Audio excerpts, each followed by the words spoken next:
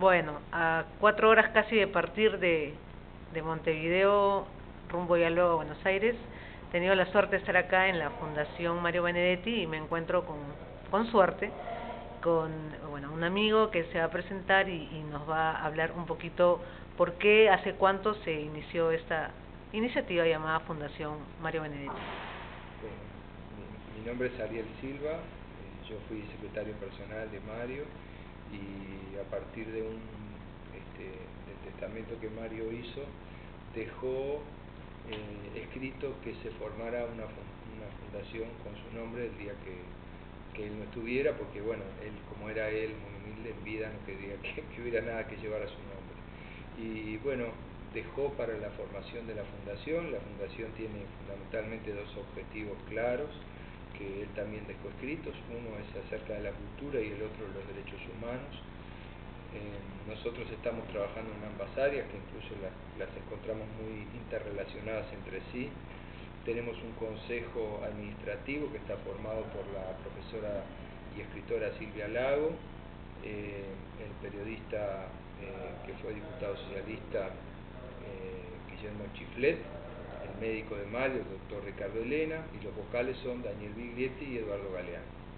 Ese es el consejo de la fundación, eh, nosotros nos reunimos periódicamente, ellos dan las directivas generales de acuerdo a las actividades que se nos plantean, y tratamos de, de realizar, eh, tener iniciativas desde aquí hacia afuera y de recibir todas las iniciativas que nos vienen en estas dos áreas. Hemos trabajado mucho, eh, sobre todo en el tema de derechos humanos hemos trabajado mucho, hicimos investigaciones de, la, de, las, de los asesinatos durante el periodo de terrorismo de Estado, de las muertes por tortura en las cárceles, desde la Fundación se realizó una investigación que se presentó a la justicia, y ahora estamos acompañando a los testigos a declarar. También eh, hemos participado de, algunos eventos internacionales, los encuentros por memoria, verdad y justicia que se fueron haciendo en Buenos Aires primero, el segundo lo hicimos acá, el tercero se hizo en Chile y ahora probablemente haya un cuarto eh, que se hará en Paraguay. Bueno, eh, estamos, estamos en el trabajo de, eh, así como a través de la doctrina de seguridad nacional, a través de la Escuela de las Américas, ellos tuvieron eh, una ideología y ellos tuvieron un, un, este, hicieron un, una sistematización del horror, digamos. De esa manera nosotros también queremos buscar la forma de unir a los pueblos eh, Latinoamérica eh, por la memoria, eh, para, por la búsqueda de esa verdad que nos está faltando por la búsqueda de la verdad que sí se sabe pero la están ocultando y este y también para que a partir de ahí que sea justicia entonces eh, como como hubo planes que abarcaron a toda América bueno de, de, de, esa misma forma para desandar ese camino es que nosotros también tenemos que unirnos los distintos países si me permites una pregunta respecto a esto para luego unas, unas palabras tuyas de, Mario mismo. Pero uh, no sé si has escuchado por ahí, en general en, en América Latina, por este tema de, de, la, de la memoria. ¿no? Eh, a veces en Argentina, sobre todo, escuché eh, una posición bastante clara respecto a que por parte de los estados se nos pide a quienes de alguna manera quienes han sufrido más los temas de la dictadura, incluso violencia política como pasa en Perú, y hay desaparecidos muertos, que es la hora de, se le pide a la sociedad civil que es la hora de la reconciliación, y eso a veces leyéndolo entre líneas como que da a entender de que ya no memoria, ¿no? O sea, reconciliémonos y de aquí para adelante, pero eso tiene, he escuchado varias, varias opiniones al respecto, ¿qué te parece eso? Bueno, eh, me parece que eso, este, me parece que es una posición esa de del perdón, eh, que, no, que no es una posición correcta. Eh, me parece que para encaminarse hacia el futuro siempre hay que estar pensando en el pasado. Entonces, este, en tanto lo que pasó en el pasado todavía no ha tenido su, no, ha tenido su verdad, eh, hasta, hasta que esa verdad no aparezca hasta que la sociedad no sepa realmente eh, qué fue lo que pasó, hasta que eh, hasta que no aparezcan, o por lo menos las noticias, hasta que no aparezcan eh, los compañeros desaparecidos, esos familiares no van a tener ni siquiera un lugar donde ir a dejar una flor. Y, este, y eso son heridas muy graves a lo largo de, a lo largo y ancho de toda la sociedad. Y, esas heridas este, eh, solo, solo pueden sanar con el conocimiento de la verdad. Si no, no, el, el, eh, quien debería pedir perdón de alguna manera es el Estado, porque se cometió un, terrorismo de Estado, ¿no? Fue desde el Estado que se, que se realizó este, esta gran masacre. Claro, claro, de ahí ya aprovechando a nombre de, de, todos los que admiramos a, al tema del derecho a la vida, al respeto a los derechos humanos, entre ellos a Mario Benetti, ahora que nos cuentas que esta fundación promueve justamente el tema de derechos, bueno, es la lucha permanente por que no queden impunes esos, esos, esa violación de derechos humanos en gran parte de la América.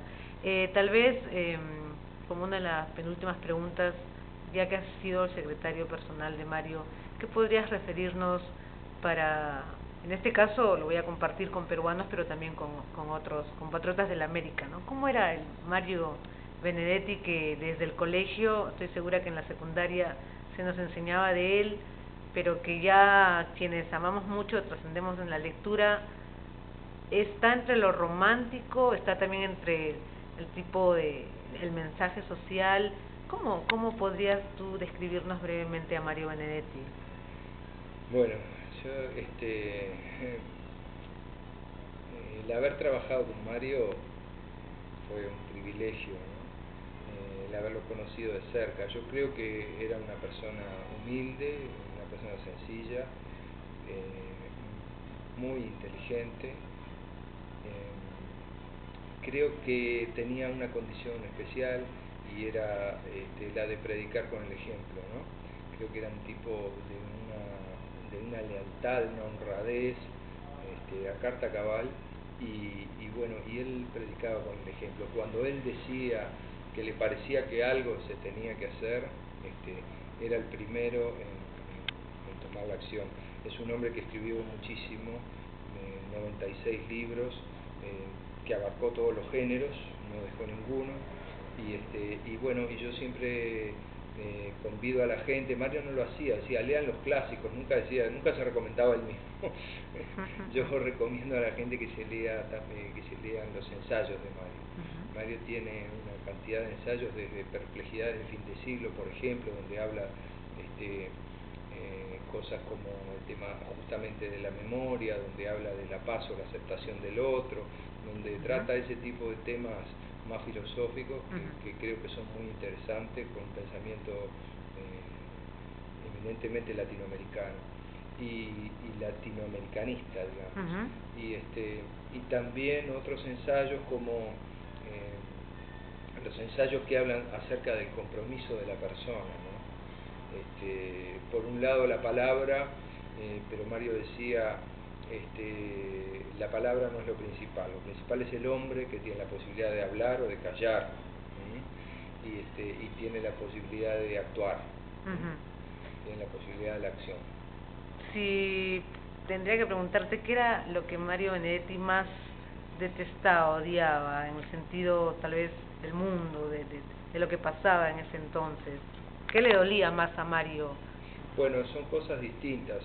Yo te digo, este, lo que más odiaba a Mario, me parece, yo podría decir por conversaciones que tuve con él y por todo lo que él escribió, era fundamentalmente la hipocresía. ¿no? Es decir, que, él fue un hombre que eh, se puede ver a lo largo de su obra.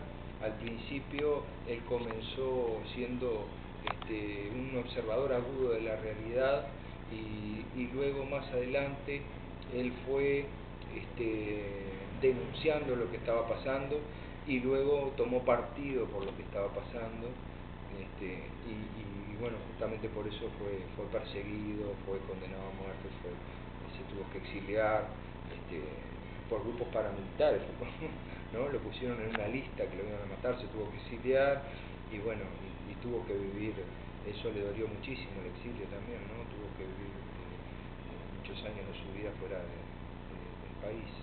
Si bien hay una diversidad en, los géneros que ha abordado Mario y como los que recomendabas leer en ensayos, me parece pero que en la, en la mayor parte de los géneros como que Mario Benedetti asume, toma de una manera hasta graciosa eh, el tema de la muerte. ¿Cómo, ¿Cómo asumía Mario el tema, digamos, la vida y la muerte? ¿no?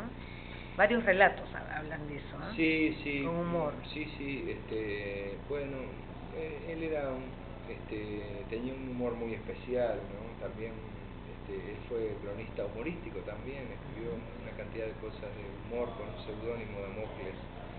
Este, y y bueno, y también eh, a veces los temas muy serios, sobre todo en el último tiempo donde, este, por supuesto, como es lógico, ¿no? él se veía cercano este, a la muerte, todos eh, los, este, los escritores de la generación de él estaban, estaban lamentablemente desapareciendo y bueno, él se veía muy cercano y bueno, y bromeaba con respecto a eso muchas veces. Pero también en sus últimos libros se nota eh, se nota una profunda reflexión, una, este, mirada filosófica acerca de la vida y la muerte.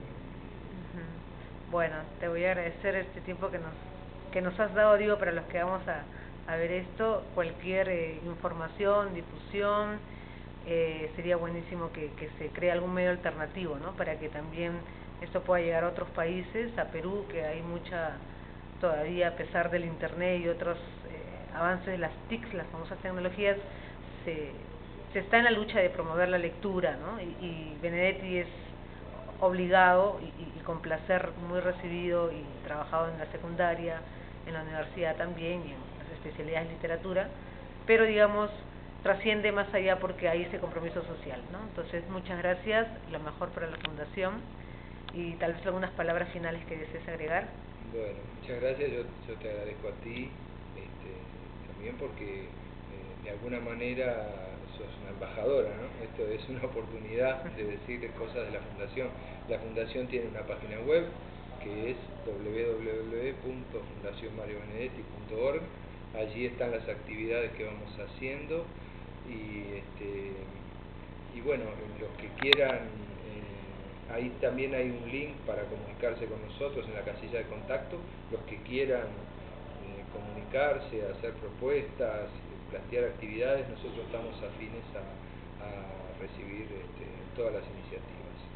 Muchas gracias.